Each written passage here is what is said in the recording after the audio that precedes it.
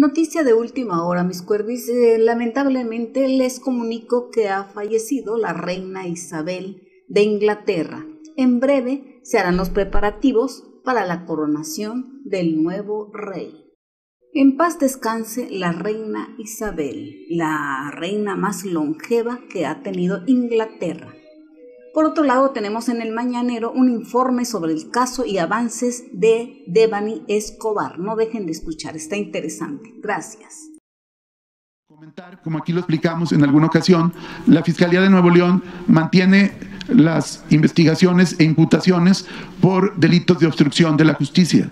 En este caso, fundamentalmente por hechos que pudieron haber sido derivados del motel Castilla.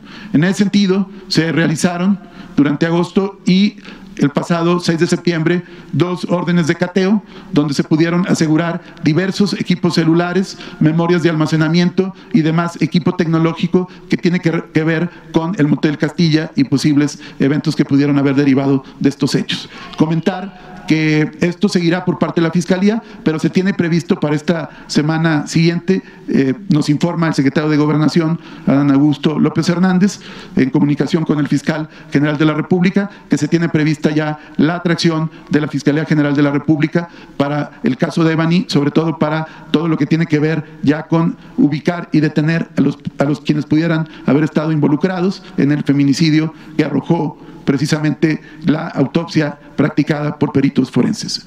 Por último, comentar que se sigue dando seguimiento.